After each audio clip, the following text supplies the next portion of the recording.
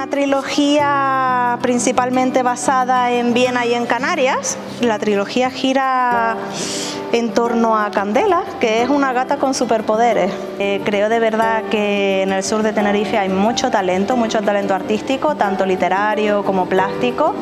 Eh, el arte, eh, bajo mi punto de vista, es una de las mejores formas o una de, las mejores formas que tienen las personas de representar lo que significa ser humano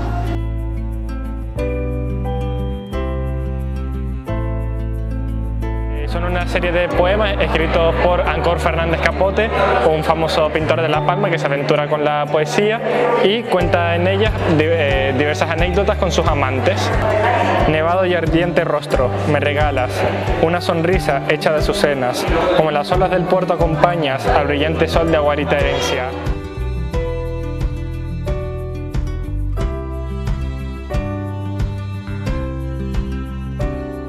Sabemos que es una apuesta bastante arriesgada porque la cultura siempre lo es, siempre es un tema incierto, pero los que tenemos esa vocación pues creemos que hay que, defenderla, que hay que pelearla.